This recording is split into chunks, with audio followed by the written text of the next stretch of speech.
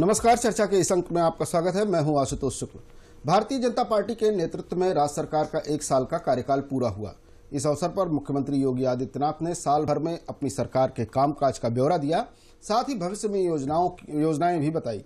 साल भर पहले इस सूबे के इतिहास पर अगर नज़र डालें तो उस वक्त भी सपा की पूर्ण बहुमत की सरकार थी। प्रदेश को विकास के रास्ते पर ले जाने का उनका दावा था, लेकिन जनता ने उनके दावों की केवल पोल ही नहीं खोली, बल्कि उन्हें बाहर का रास्ता भी दिखाया।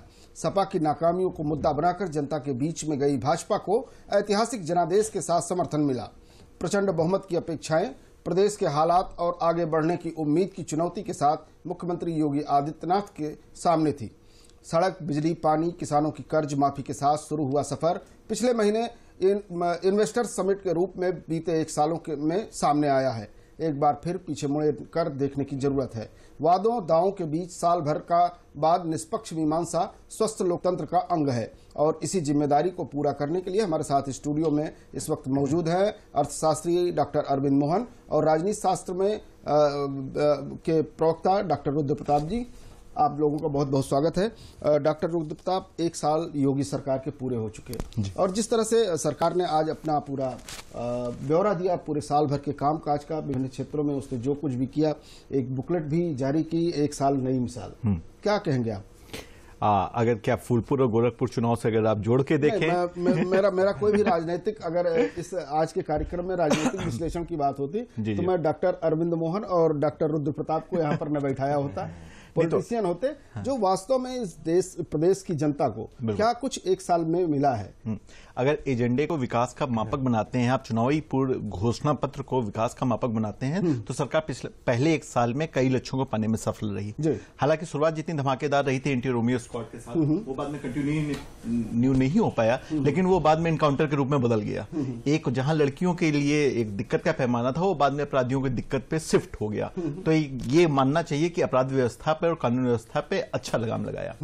दूसरी बात अखिलेश सरकार के जो मेट्रो का उनका दावा था उस मेट्रो सरकारी विफल कहाँ होती हैं? सरकारी विकास के पैमाने पे वही विफल होती हैं जब वो पुराने सरकार के काम को रोक के अपना नया एक एजेंडा ले आती है नई योजना उसी के समानांतर चयन रखती है। योगी सरकार की खूबी ये रही कि उसने पिछली सरकार के जो विकास के मानक थे उनको आगे बढ़ाने की कोशिश की। उसने मेट्रो को रोका नहीं उसने मेट्रो के काम को और तेज गति से बढ़ा है। कल ई श्रीधरन की फिर से मुलाकात हुई मुख्यमंत्री योगी जी से और उस पर फिर से बात हुई कि हाँ हम लोग को अब कहाँ तक ले जाना है। डॉक्टर साहब मेट्रो समय की ज़रूरत है। बिल्कुल। और लोगों की ज़रूरत को कोई भी सरकार रोकती नहीं है। हम्म, हम्म। बात देखने की होती है कि कितना तेज उस ज़रूरत को सरकारें पूरा करने में कामयाब होती है। आप आप कह सकते हैं समय की ज़रूरत है और लेकिन आवश्यकता नहीं है। जिसे आप कह रहे हैं कि बेसिक ज़रूरत है तो वो भी नहीं है। कई राज्यों में मेट्रो नहीं लागू है। जिस गुजरात मॉडल को मांग के योगी जी प्रधानमंत्री बन गए वहाँ पे मोदी जी प्रधानमंत्री बने वहाँ पे मेट्रो नहीं चलती थी। हम्म। फिर भी वो विकास के पैमाने पे विकास के विज्ञापनों में सबसे ऊँचा था। आप मेट्रो को विकास का एक मानक मान सकते हैं। डॉक्टर रुद्र प्रताप मैं आपके पास आऊँगा कई सारे चीज़ें आपने उभारी हैं लेकिन हमें लगता है कि जो हमारा प्रसंग है उस प्रसंग पर पहले बात हो जाना ज़रूरी है डॉक्टर अरविंद मोहन। मैंने एक लाइन अपने शुरुआती उसमें कहा कि वादों और दावों के साथ। किसानों की बात की आपने कानून व्यवस्था का भी ज़िक्र किया मेट्रो तक की बात की। और पिछले महीने कई बार आप हमारे चैनल पर भी रहे ये इन्वेस्टर समिट मतलब सरकार का एक जो समावेशी विकास की दृष्टि है वो कानून व्यवस्था को ठीक करने की सड़कों को ठीक करने की शिक्षा की व्यवस्था ठीक करने की और उसके बाद इसमें अवस्थापना संबंधी जो मूलभूत हमारी दिक्कतें हैं उसको आगे ले जाने के लिए एक दृष्टिकोण क्या आपको भी दिखाई देता है? देखिए इसमें दो चीज़ें कहना चाहूँगा। जी। पहला सच ये है कि अभी तक एक साल में हम्म, हम्म। ये सरकार का मिक्स बैग है। जी। कुछ सफलताएँ हैं और कुछ विफलताएँ। जी।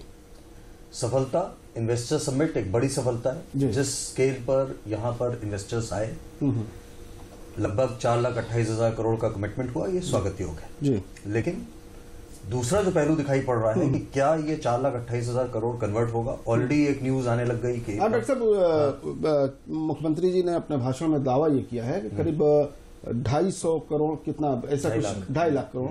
का क्रियान्वयन होने वाला है ऐसा उन्होंने देखिए ढाई लाख करोड़ क्रियान्वयन होता है तो मैं इसे बहुत अच्छा मानूँगा। लेकिन अभी ये वादे हैं। हम्म। और एक अर्थशास्त्री होने के नाते मैं क्रियान्वयन देखना चाहूँगा क्योंकि पिछले 20 वर्ष का इतिहास है हम्म, हम्म। कि उत्तर प्रदेश लगातार पूरे हिंदुस्तान के सभी प्रदेशों में कभी भी जब आप लेटर ऑफ़ इंटेंट देखते हैं इन्वेस्टर का इंटरेस्ट के पॉइंट ऑफ़ व्यू से लेटर ऑफ़ इंटेंट के पॉइंट ऑफ़ व्यू से कभी भी हम तीसरे नंबर के नीचे नहीं गए। हम हमेशा कर्नाटक इत्यादि के ऊपर रहे। गुजरात के ऊपर इन्वेस्टमेंट अट्रैक्ट किया हमने। तो यूपी एक अट्रैक्टिव डेस्टिनेशन है। ये इन्वेस्टर समिट उस दिशा में एक अच्छा कदम है। कन्वर्जन यूपी का हमेशा बहुत बुरा रहा है। मैं देखना चाहूँगा कन्वर्जन कितना होता अभी तक सोफार सो गुड ये पहला सच है। लेकिन मेरा जो बड़ा कंसर्न है इस सरकार ने अपने चुनावी वादे किए थे। जी। जिसमें विशेष रूप से एम्प्लॉयमेंट जनरेशन का था इंडस्ट्रियलाइजेशन का था। ये जो बड़े वादे थे आज अगर आप देखें तो पूरे हिंदुस्तान में भी और उत्तर प्रदेश में भी। लगातार जो एम्प्लॉयमेंट जनरेशन की कैपेसिटी थी वो गिरती चली जा रही है। यूपी में मैं पिछले कुछ समय में एक साल में कम से कम कोई ऐसा इनिशिएटिव नहीं देख पाया हूँ जिससे ये कहा जा सके कि यूपी में एम्प्लॉयमेंट जनरेशन बढ़ गया। यूपी में किसी भी तरीके से जो इनकम जनरेशन का प्रोसेस तो बढ़ गया। मैं मुझे लगता है कि जो अभी आपने फूलपुर और गोरखपुर की बात की थी ये वार्निंग सिग्नल्स हैं इस सरकार के लिए भी और केंद्र सरकार के लिए लेकिन डॉक्टर साहब मेरी बात पूरी समझते सरकार को इसको एक सीरियस वार्निंग सिग्नल की तरह देखना होगा। उनको समझना होगा कि जनता सो नहीं रही है। जनता अकाउंटेबिलिटी फिक्स करेगी अब। और इसलिए जो वादे किए हैं उस पर आगे चल करके दिखाएँ। और कम से कम एक साल कम समय होता है। तो ये मैं, मैं भी यही कहना फाइनल आकलन करना उचित नहीं होगा। लेकिन सरकार जनता कम से कम वो रोड मैप देखना चाहती है। हम्म, हम्म। वो विजन देखना चाहती है कि आपका विजन क्या है रोड मैप क्या है और आप उस पर चलना शुरू कर रहे हैं कि नहीं कर रहे हैं? बिल्कुल ये बिल्कुल, तुरंत दिखा बिल्कुल जनता के सामने ये सारी चीज़ें आनी चाहिए कि जितना प्रचंड बहुमत जितना समर्थन जितना बड़ा जनादेश आपको दिया है आपका भी ध्यान बिल्कुल। जनता की तरफ़ उतना ही गंभीर है या नहीं? डॉक्टर प्रताप जी एक महत्वपूर्ण बात यह है कि एक साल केवल हुआ है। बिल्कुल। और अगर जोड़े केंद्र सरकार के साथ तो थोड़ा समय ज़्यादा होता है लेकिन उस वक्त हम कह सकते हैं कि सपा की सरकार थी उत्तर प्रदेश में और तमाम सारी योजनाएँ जो केंद्र सरकार लाना चाहती थी उसको सार्थकता के साथ यहाँ पर नहीं लाया जा सका। अब दोनों जगहों पर सरकारें एक हैं। एक साल का समय बीता है। आपने भी ज़िक्र किया कानून व्यवस्था के अगर हम इसको जो है विभाग वाइज अगर ले जो चुनौतियाँ थी खासतौर पर जो चुनौती चुनावी मुद्दे के रूप में चुनौतियाँ थी कानून व्यवस्था की बात थी जिस पर आपने कहा कि कहीं न कहीं एंटी रोमियो स्कॉट से लेकर इनकाउंटर तक जो बात आई है आ, उसमें सरकार सफल दिखाई देती है। लेकिन उससे भी बड़ा एक मुद्दा आ, सरकार का था कि किसानों को लेकर के था। हम्म। बड़ी कर्ज माफ़ी की घोषणा की गई। हम्म, हम्म। कर्ज माफ़ी हुई भी। धान और गेहूँ का क्रय जो एक सरकारी स्तर पर होना चाहिए वो हुआ भी। गेहूँ का समर्थन मूल्य बढ़ा। उसके बाद आप क्या दिखाई देता है कि वास्तव में किसानों के प्रति सरकार गंभीर है गन्ना किसानों का बकाया भुगतान। उसको भी सरकार ने पूरा किया मुझे लगता है डॉक्टर अरविंद इस बात पे ज़्यादा अच्छा जवाब दे पाएँगे चूँकि किसानों का मुद्दा का वो है मेरा एक जो एक बड़ा कंसर्न था चूँकि मैं पॉलिटिक्स को रिप्रेजेंट करता हूँ तो मैं ज़्यादा बेहतर बता पाऊँगा कि जो परीक्षार्थियों ने दस लाख परीक्षार्थियों ने हम्म। छोड़ा। वो एक आप एक बड़ी सफलता समझिए। जो। एम्प्लॉयमेंट डॉक्टर साहब ने कहा डॉक्टर साहब ने कहा वो उसी से जुड़ा है। वो जो साढ़े दस लाख लोग आगे जाके रोज़गार मांगते हक के साथ मांगते। तो अभी ना पढ़ करके भी मांगेंगे। रोज़गार तो आप नहीं नहीं वो एलिजिबिलिटी उसके लिए होनी चाहिए तभी आप मान पाएँगे। हम्म। तो वो वो एक आने वाले समय के रोज़गार को एक अच्छी कदम से बांधा गया है। हम्म। मुझे लगता है ये जो साढ़े दस लाख विद्यार्थियों ने परीक्षा छोड़ी है हम्म। ये योगी सरकार की एक कामयाबी के तौर पे आपको मानना चाहिए और घोषणा पत्र पे उन्होंने ये वादा किया था। हम्म, उन्होंने राजनाथ सिंह जी के और कल्याण सिंह जी को शासन का उदाहरण का हवाला देते हुए कहा कि हम पिछली की तरह नकल विरोधी अध्यादेश की अध्यादेश की तरह ही एक मज़बूत कानून लाएँगे और इस बार करेंगे। तो मुझे लगता है अगर कानून व्यवस्था के साथ जा रहे हैं हम लोग जेवर में इंटरनेशनल एयरपोर्ट की बात करें सेना के बनने वाले कॉरिडोर की बात करें तो हम इन साढ़े दस लाख परीक्षार्थियों की ज़रूर बात करें जो एक, एक मुश्किल उनके लिए ज़रूर मुश्किल हो रही होगी लेकिन प्रदेश के लिए एक सुनहरा भविष्य के तौर पे ये आगे बढ़ के आया। डॉक्टर साहब प्रधानमंत्री बार बार इस बात का ज़िक्र करते हैं कि सरकारों को जवाबदेह और ज़िम्मेदारी पूर्ण व्यवहार करना चाहिए। जो जन, जन भरोसा है जो उन्हें मिला हुआ है उसको कायम रखना चाहिए। एक साल बीत चुके हैं उत्तर प्रदेश की तमाम समस्याओं से आप अवगत हैं।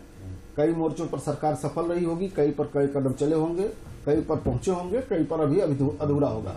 चार साल अभी बाकी हैं बहुत सारी चीज़ें की जानी है। लेकिन जो जन भरोसे की बात है उसको केवल फूलपुर और गोरखपुर से ही तोड़ना ठीक नहीं है। नहीं बिल्कुल नहीं ठीक है। हम्म। उस पर आप कितना सरकार को देखिए अभी प्रदेश सरकार की अगर हम बात करें तो ये समय शायद नहीं आया कि जन भरोसे पर सवाल नहीं उठ रहा है। जी। और अक्सर इलेक्शंस बहुत तरीके के अलाइनमेंट्स में हम्म। चाहे वो दो एक साल पहले का इलेक्शन हो चाहे बिल्कुल बिल्कुल।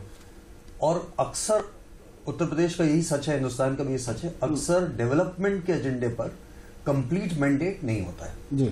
लेकिन मैं डॉक्टर साहब ने जो बात उठाई बड़ा महत्वपूर्ण है। मैं भी इस बात से पूरी तरह इस बात को मानता हूँ हम्म। कि जो अभी जिस तरीके से बोर्ड की परीक्षा कराई है उत्तर प्रदेश बोर्ड की हम्म, हम्म, मुझे लगता है स्वागत योग है बहुत समय से यूपी बोर्ड की क्रेडिबिलिटी पूरी तरीके से खत्म होती चली जा रही है वो रिस्टोर हो रही। और ये बिल्कुल महत्वपूर्ण नहीं है कि 10 लाख बच्चे इम्तहान नहीं दे पाए क्योंकि हम यही चाहते हैं जो हाई स्कूल नहीं पास कर सकते जो इम्तहान दे वो जो डिजर्व करता वही पास होना चाहिए यही उनके भविष्य के लिए भी ज़रूरी है। ये एक सच है। दूसरा सच है आपने किसानों की कर्ज माफ़ी की बात कही।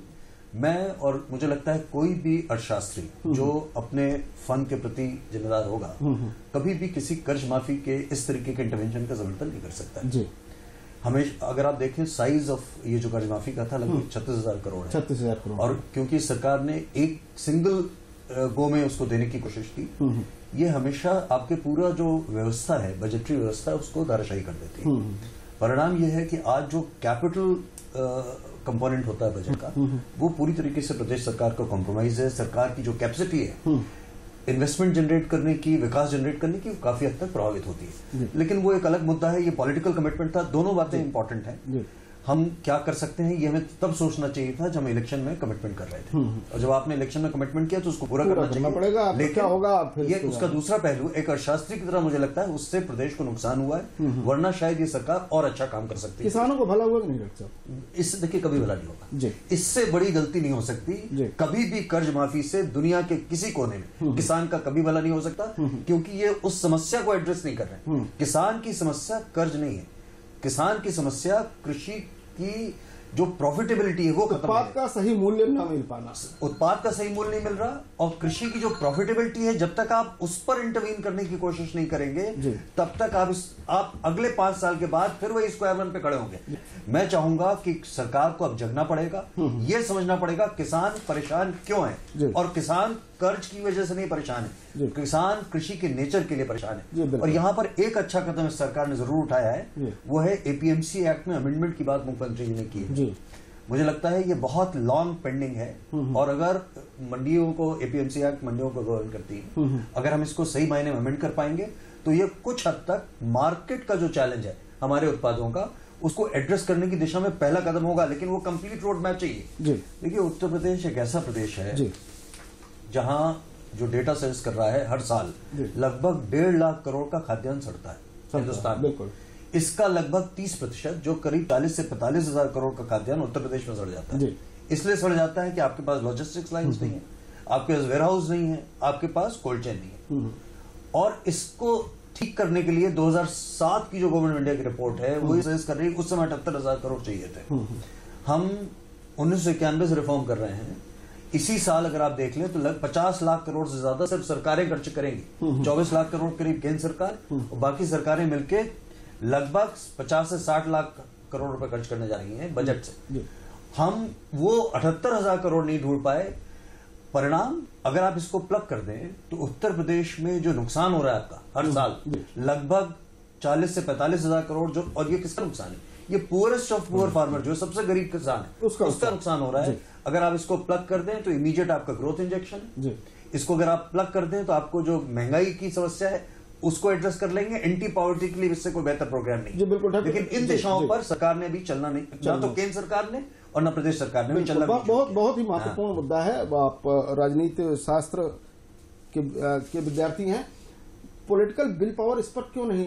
क्या उन्हें नहीं मालूम है कि जो ये आंकड़े हमारे सामने आ रहे हैं हमारे खाद्यान्न के सड़ने के हम्म। हमारे खाद्यान्न को न रखने जाने की जो व्यवस्था न होने के पॉलिटिकल विल पावर इस पर क्यों नहीं विचार करती है? बार बार इस तरह के लोक लुभावन जो होते हैं कि माफ़ी दे दो या सब्सिडी दे दो या जो कुछ भी होता है। ये इस वजह से क्योंकि सरकार चुनाव नहीं लड़ती चुनाव राजनीतिक दल लड़ते हैं। सरकार लोकप्रिय वादों को ही लेके चलती है। उसका हमेशा से मानना है कि कर्ज माफ़ी एक आसान तरीका है जिससे वो एक बार सरकार बना चुके और पिछली सरकार ने मनमोहन सिंह जी की सरकार ने इस बात की पुष्टि की थी कि आप कर्ज माफ़ी करके एक बार आ सकते हैं।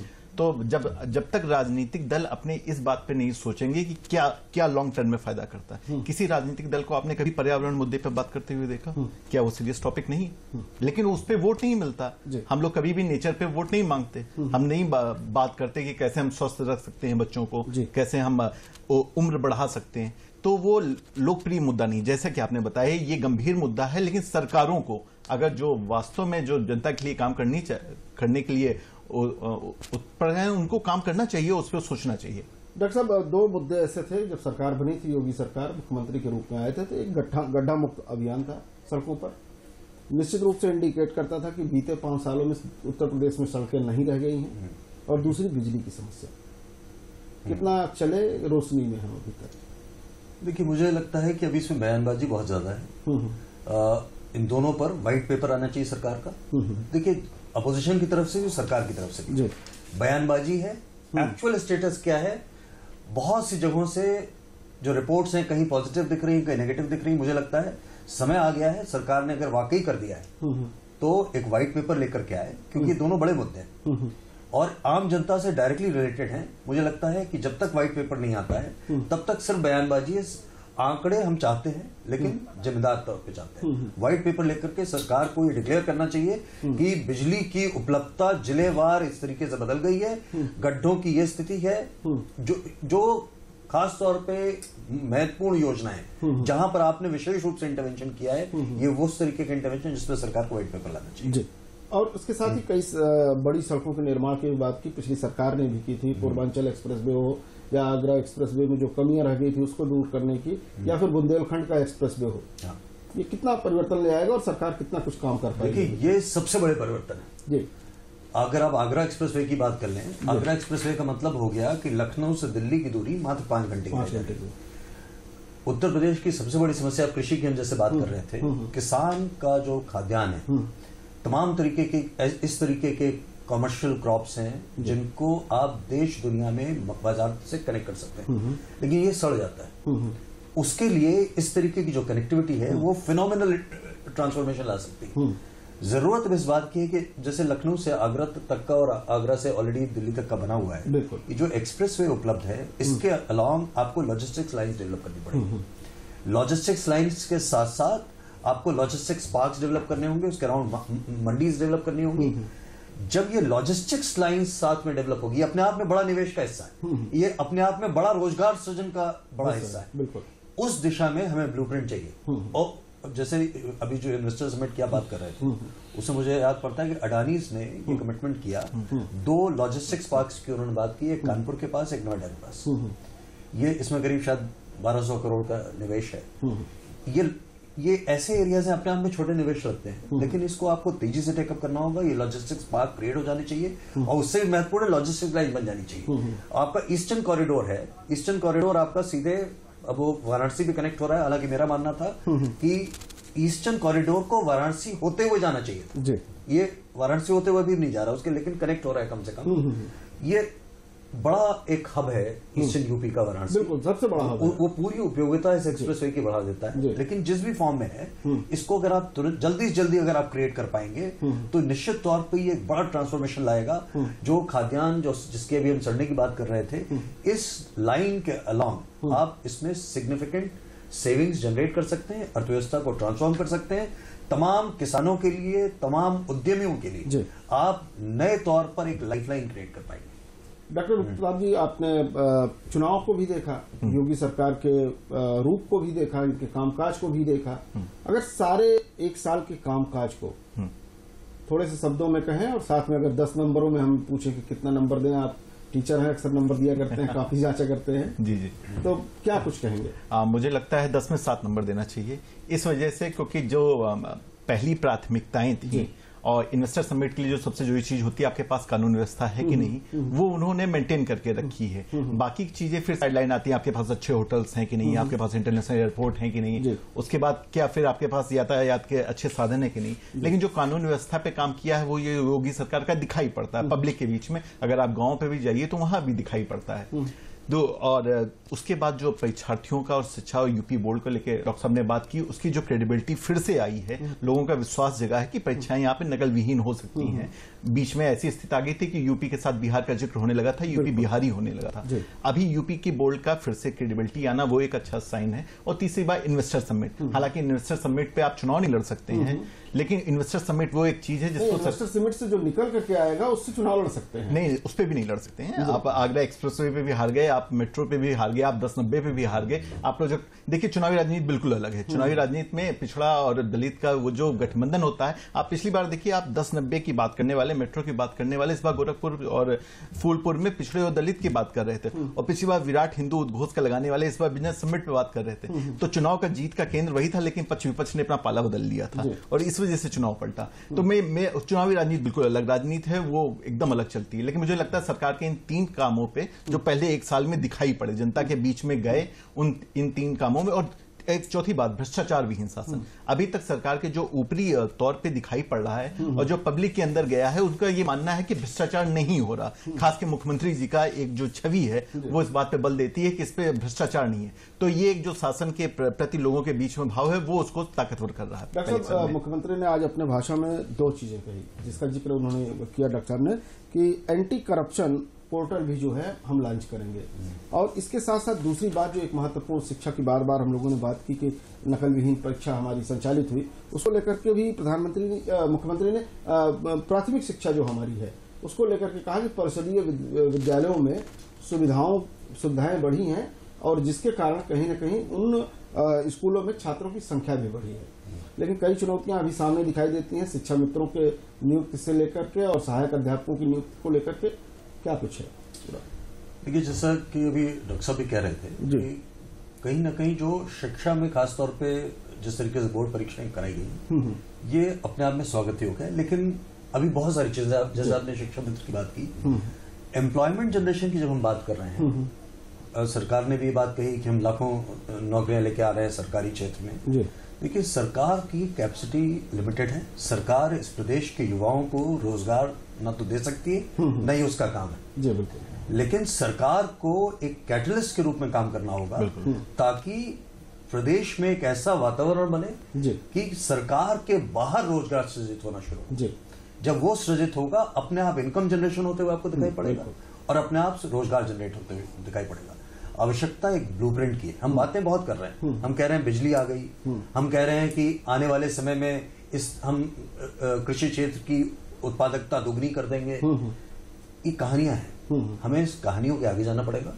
प्रदेश को रोड मैप चाहिए कि आप कृषि में कैसे ट्रांसफॉर्मेशन लाने जा रहे हैं। कृषि का जो उत्पाद है उसको मार्केट से कैसे कनेक्ट करने जा रहे हैं।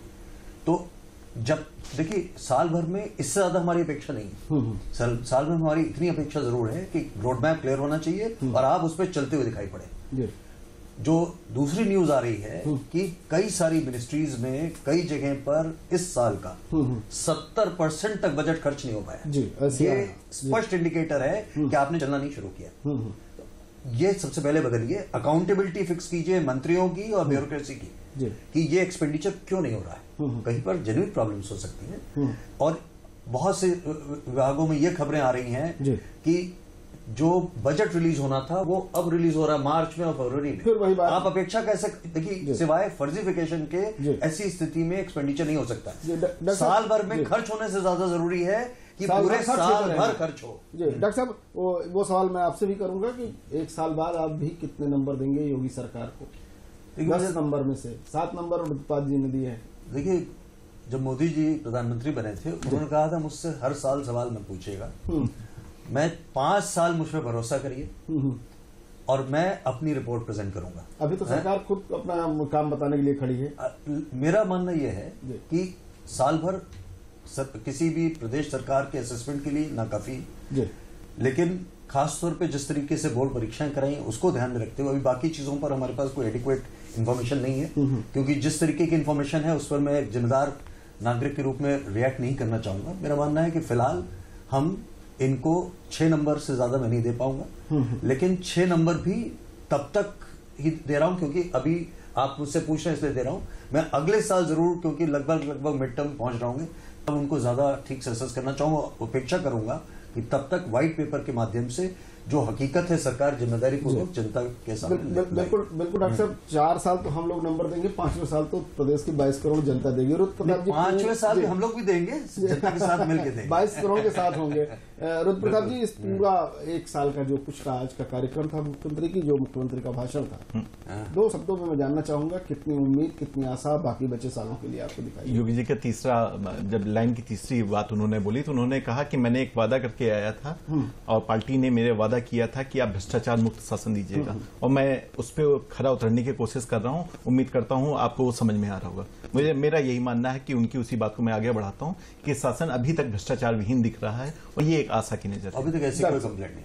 अब देखिए अभी तक योगी जी की अपनी निजी छवि साफ़ सुथरी है और ऐसा कोई कारण भी नहीं लगता कि वो करप्शन में लिप्त होने का उनके साथ कोई कारण नहीं लगता। ये छवि उनका सबसे बड़ी यूएसपी है। इसको उनको स्ट्रेंथन करना चाहिए। निश्चित तौर पर एक ईमानदार छवि उनको बहुत आगे ले जाती है। लेकिन प्रदेश ईमानदारी के साथ साथ विकास भी चाहता है। जी, बिल्कुल निश्चित रूप निश्चित रूप से 22 करोड़ जनता की समस्याओं का समाधान जादुई छड़ी के माध्यम से नहीं किया जा सकता है। वादे चुनाव जीतने के लिए होते हैं, लेकिन उनको धरातल पर आने के लिए सरकारों को बहुत पसीना बढ़ाना पड़ता है। पाँच साल में एक साल का किया गया काम काम काम मूल्यांकन का विषय नहीं हो सकता, लेकिन स्वस्थ राजनीति, स्वस्थ लोकतंत्र की मर्यादा है कि एक साल के काम को काम को भी जो है मीमांसित किया जाए, उसे रेखांकित किया जाए। निश्चित रूप से जो हमारे एक्सपर्ट हैं, उन्होंने योगी सरकार की पीठ ठोकी है वेरी गुड ना सही गुड तो दिया है, सरकार चलती हुई दिखाई दे रही है, उत्तर प्रदेश की जनता को भी यही अपेक्षा है कि जो उसने समर्थन दिया है, उस समर्थन का मूल्य उनको सरकार, खासतौर पर योगी सरकार की ओर से मिलेगा। आप लोग स्टूडियो में आए बहुत बहुत धन्यवाद। कल फिर किसी और विषय पर मुलाकात होगी, तब तक के लिए नमस्कार।